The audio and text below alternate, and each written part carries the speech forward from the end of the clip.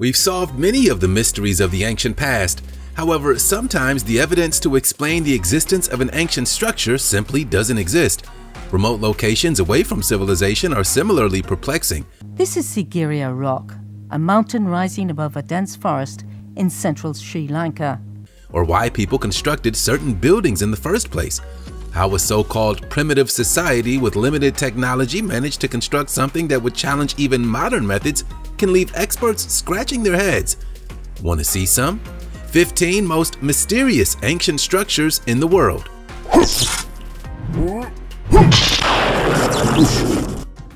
Number 15. Stonehenge. Some of these ancient stones weigh up to 30 tons, which would have been an epic struggle to move with primitive tools. The Stonehenge region covers 6,500 acres. It's an area seven and a half times as big as Central Park in New York City. Research shows that the site has continuously evolved over a period of about 10,000 years. The structure that we call Stonehenge was built roughly between 5,000 and 4,000 years ago and was once part of a larger sacred landscape. Recent experiments show that it's possible for a one-ton stone to be moved by a dozen people on a wooden trackway but whether this technique was actually used by the ancient builders is a mystery. Scientists have also suggested that during the last ice age, glaciers carried these massive stones closer to the area. While other experts have said that water transport by raft is another idea of how these Stonehenge rocks came into place, so the jury is out as to how exactly this sacred place was built. The mystery surrounding Stonehenge has led to many theories. Some theories suggest Stonehenge was an elite burial ground, Others say it's a really big calendar. Of course, conspiracy theories connecting aliens to Stonehenge are quite common too. Now, let's get ready for today's open discussion. When you hear that nobody knows who built these structures in this top secret image that looks as though it was taken from a drone, it only makes it more mysterious. You can't help but notice that a huge robot is being dug up from underground, which makes us wonder, why was it buried in the first place?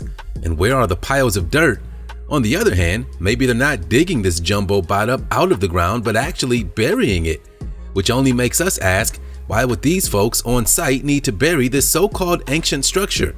It doesn't look that old to us. It is a robot after all. How old could it be? Unless it's one of those rumored ancient robots that you hear alien conspiracy theorists talking about, we can't tell if this is a secret they're trying to hide or a discovery they can't wait to show off. What do you think? Leave a comment with the hashtag open discussion. It would be pretty hard to keep something like this a secret anyhow. You want to know a little secret? If you smash the like button, subscribe, and click the notification bell, you'll have superpowers for the rest of your life. So what are you waiting for? Time to fly. Number 14. Sigiriya. It's a magical place just off the southeastern coast of India. A massive 660-foot column of rock jutting out from the green tropical forest in Sri Lanka. Welcome to the Sigiriya Rock Fortress. Sigiriya literally means lion rock, and you can see why. When you get there, a lion carved from rock awaits you. The fortress's name is echoed in the staircases that emerge from a lion's mouth constructed in brick and plaster which offer access to the site. It was both a palace and a fortress, surrounded by an extensive network of gorgeously groomed gardens and water reservoirs. The rock complex stands as one of the earliest preserved examples of ancient city planning. It holds a special place in Sri Lanka's cultural history. The Sinhalese people combined forward-thinking concepts to blend the man-made geometrical structures and natural forms of the surroundings. The Sigiriya site contains the ruins of an upper palace located on the flat top of the rock, a mid-level terrace that includes the Lion Gate and the Mirror Wall with its frescoes. One of the eight World Heritage Sites of Sri Lanka, Sigiriya is renowned for its 5th century frescoes, preserving ancient Sinhalese culture, it's also been declared by UNESCO as the eighth wonder of the world. Number 13. Puma Punku. It's situated high upon a desert plateau of the Andes Mountains at an altitude of more than 12,000 feet. The name means door of the puma, and as far as archaeologists know, Puma Punku was once a thriving ancient town. This is all that remains of a holy site in the jungles of Bolivia, Yet in this isolated part of the world stands all these amazing smooth stone structures featuring precision-made cuts, clean right angles, and expertly fitted joints. Today, rumors continue to grow that Puma Punku's massively heavy stone block structures were cut so precisely that highly advanced, so-called ancient technology seems to be the only logical explanation for their craftsmanship. The megaliths are among the largest on Earth, with some weighing several tons, and as you can see, many of the structures are still standing centuries after their inhabitants disappeared, scattered and broken around the area, leaving researchers to wonder what possibly could have tossed around impossibly heavy buildings. It's significant in Inca traditions, the place where it was once believed the world was created. And then one day, suddenly, the inhabitants vanished and a great civilization came toppling down. Number 12. Longyou Caves so far, no trace of China's Longyou Caves construction or even their existence has been located in the historic record. There's not a single historic document that refers to these grottos, which is highly unusual considering the sheer scale of the project creating them. Its extensive, magnificent, and rare ancient underground world is considered in China the ninth wonder of the ancient world. Carved into solid siltstone, each grotto descends around 100 feet underground and contains finely carved stone rooms, bridges, gutters, and sacred pools. Their origin is a complete and utter mystery.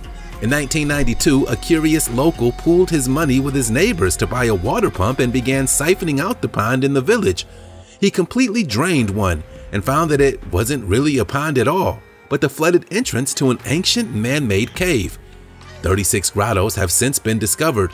Who built them? A project of this scale being commissioned by an emperor would have historical records of its construction. The quantity of rock that would have had to be removed is estimated to be nearly 35 million cubic feet. Taking into account the average digging rate per day per person, scientists have calculated that it would have taken a thousand people working day and night for six years to complete. Number 11. Yonaguni Monument These ancient ruins cover an area spanning almost a thousand feet by about 500 feet, it's an epic underwater series of precise geometric terraces with broad, flat horizontal surfaces and sheer vertical stone risers, and it's known as the Yonaguni Monument, but it's more famously known as the Japanese Atlantis. Yonaguni is composed of sandstone and mudstone that dates back 20 million years.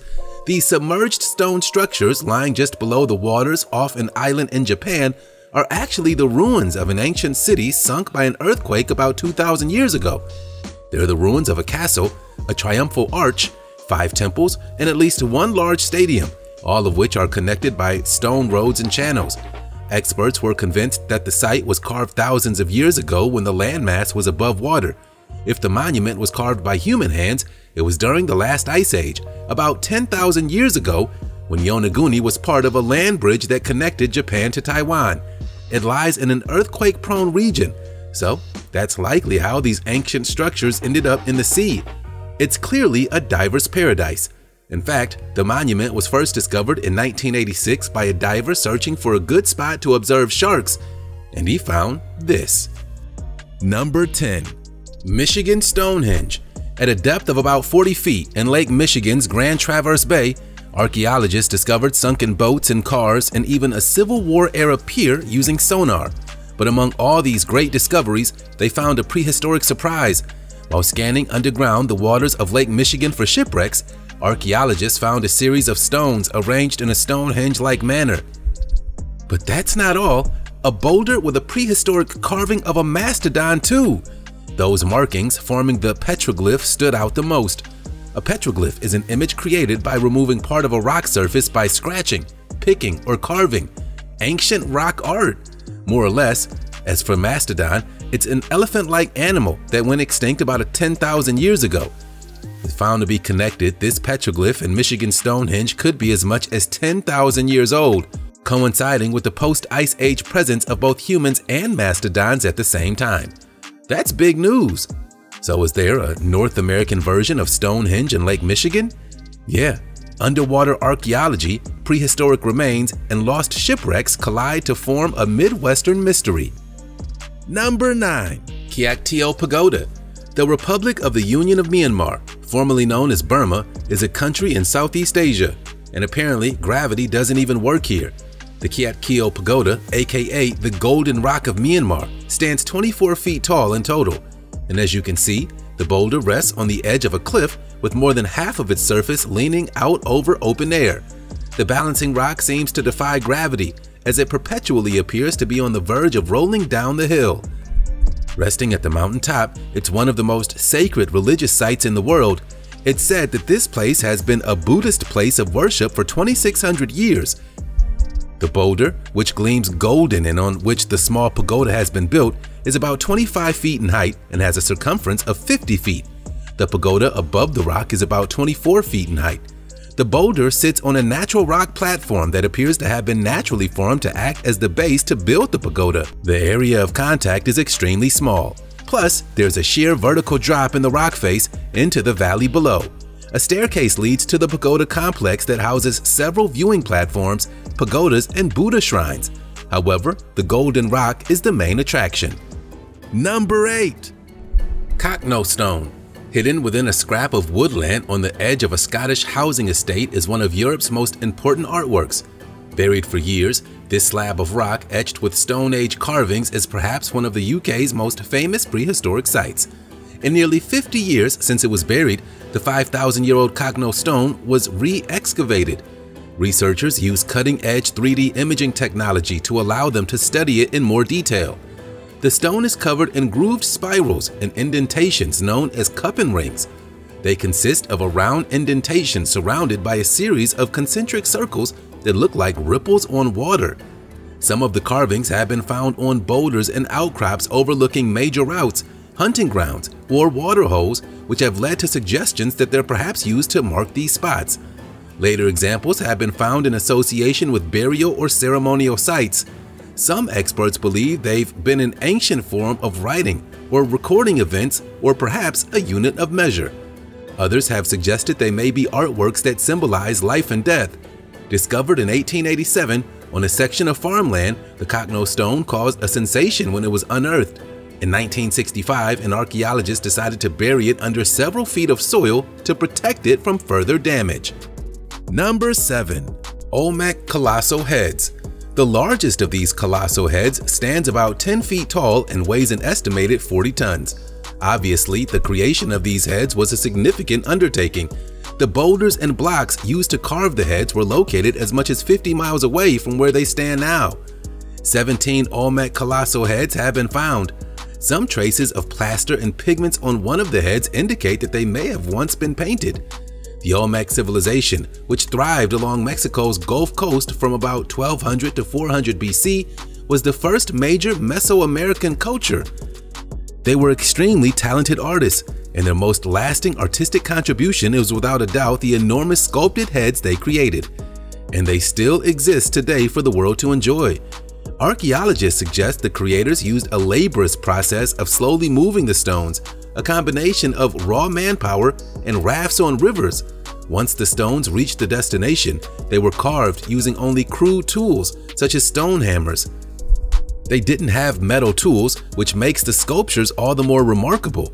Originally thought to depict gods, most archaeologists now say they believe they're likenesses of long-dead rulers during this ancient civilization's reign. Number 6. Sayhuite Stone this map, called the Sayhuite Stone, is on the upper surface of what appears to be the bottom half of a huge boulder. And while the creators of this relic remain a mystery, the monolith provides archaeologists with insight into the culture of a pre-Columbian population. The site is regarded as a center of religious worship for the Inca people in Peru. And the main attraction is this big granite block ornamented with complex and mysterious figures resembling a three-dimensional map of an ancient city dating to the period of the Inca Empire, which flourished between the 15th and 16th centuries. Compared to other Incan sites, little has been left from the time of the Incas here. While the precise meaning of this stone remains unsolved, the monolith helps archaeologists piece together how and why they lived this way. The rock is carved with more than 200 figures of geometric and zoomorphic shapes, mostly felines, frogs, and snakes, and the map is complete with terraces, ponds, rivers, tunnels, and irrigation channels. And that's why archaeologists have determined that this site was for rituals and ceremonies. Located on the top of a terraced hill, the site was once home to a sanctuary. All that remains of this sanctuary today is this monolith. Number 5. Largest man-made block Check out the largest known stone block ever carved by human hands. During the period of Roman rule, this place was known as the City of the Sun and housed one of the largest and grandest sanctuaries in the empire. The gigantic blocks were used in the foundations of the temples. However, this limestone quarry houses two massive building blocks that never made it to the temple, one weighing about 1,240 tons and the other weighs about 1,000 tons. There's a bigger block. It measures 64 feet by 19.6 feet by 18 feet and weighs an estimated 1,650 tons. Tests conducted by archaeologists at this ancient stone quarry in Lebanon revealed the size and weight of the enormous monolith. The newly uncovered stone block was likely cut to be used in the temple, but was probably abandoned. How they were cut so finely and moved into place has defied explanation, particularly considering the blocks are now known to have weighed over 1,000 tons. This stone and others never made it out of the quarry, probably because they were just too massive to transport. Even though the block was likely a major disappointment to its creators, they unwittingly set world records. The new discovered block is the biggest boulder known from antiquity. Number 4. Qin Shi Huang Tomb Qin Shi Huang was the founder of the Qing dynasty and the first emperor of a unified China. Rather than maintain the title of king, he ruled as the first emperor from 221 to 210 BCE. His self-invented title emperor would continue to be borne by Chinese rulers for the next two millennia. So he was kind of a big deal. This newly discovered terracotta army is part of a much larger necropolis, constructed as a smaller version of the emperor's imperial palace after his death and covers a large area around the emperor's royal tomb. Incredibly, they were discovered in 1974 by local farmers. But why would a terracotta army even exist? The figures were apparently created to serve the deceased Chinese emperor in the afterlife.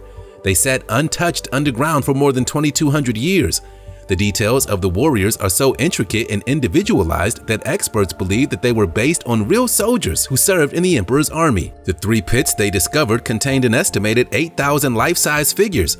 On top of that, thousands of bronze items of weaponry had been recovered, including swords, daggers, spears, lances, battle axes, shields, and crossbows. Number 3.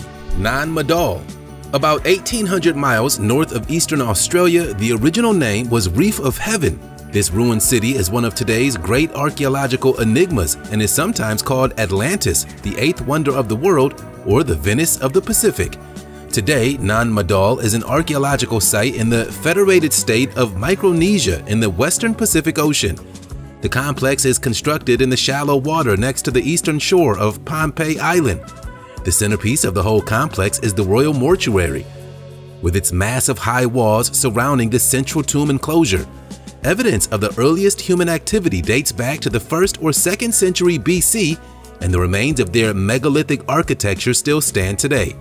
The 100-odd stone structures were built atop coral reefs. In total, the rocks that make up the site weigh nearly 827,000 tons. Little is known about how its builders were able to move such massive amounts of stone without levers, pulleys, or metal.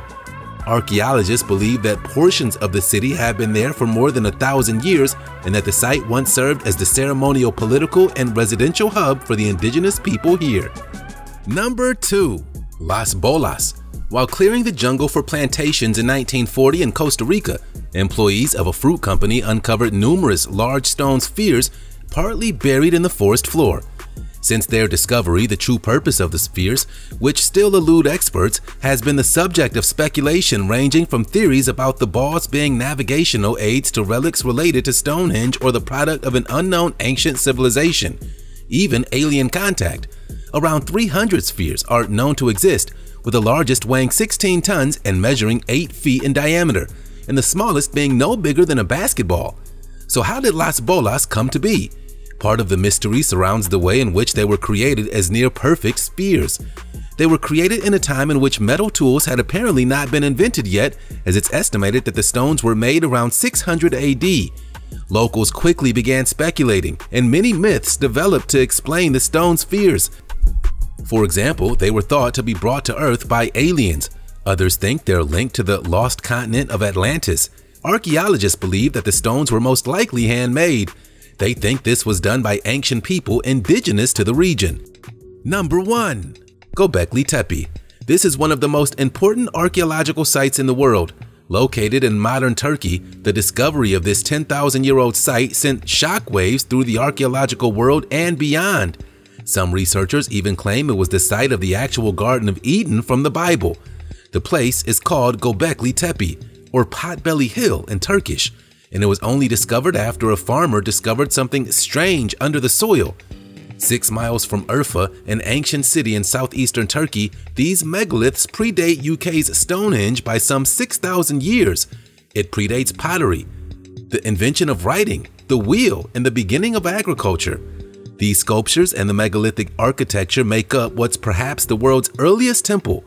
Before it was discovered, most people saw some broken slabs of limestone and assumed the mound was nothing more than an abandoned medieval cemetery. Gobekli Tepe has a gently rounded top that rises 50 feet above the surrounding landscape, and to experts, the unique shape stood out. It was a gigantic Stone Age site. The site was first used at the dawn of the Neolithic period, which is Southwest Asia, marks the appearance of the oldest permanent human settlements anywhere in the world. These ancient structures really do show us how far we've come, but at the same time, they reveal the limitlessness of our imaginations even when we didn't have the tools or the technology to make our dreams a reality. Somehow, we found a way,